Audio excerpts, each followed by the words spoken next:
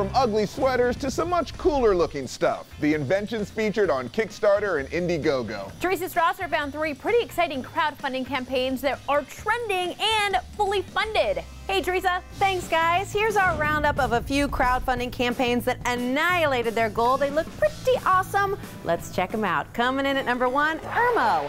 Weighing in at 14 pounds, this new electric vehicle is designed to easily fold up so you can carry it when you encounter stairs. With one lift and within two seconds, the Irmo transforms from fully functional electric vehicle to just briefcase size.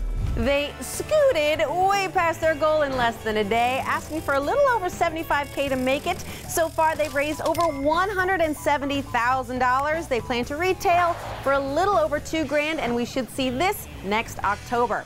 At number two, Soundbrenner Core, a wearable for musicians designed to act as a metronome, tuner, decibel meter, and watch, but you don't have to wear it around your wrist. You can wear it on your chest, arm, ankle, or wrist. They drummed up enough funds to beat their goal in just 12 hours, asking for 50K to make it. So far, they've raised enough cash to be music to anyone's ears, over $320,000.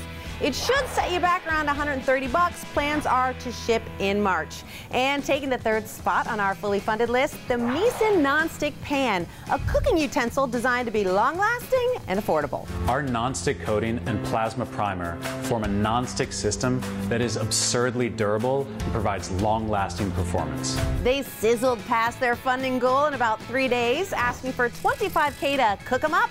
So far, they've stuck over $640,000 in their wallet. All three sizes should sell as a set for 165 bucks, and we could see this in March. New and nifty products we hope to see soon because they're fully funded.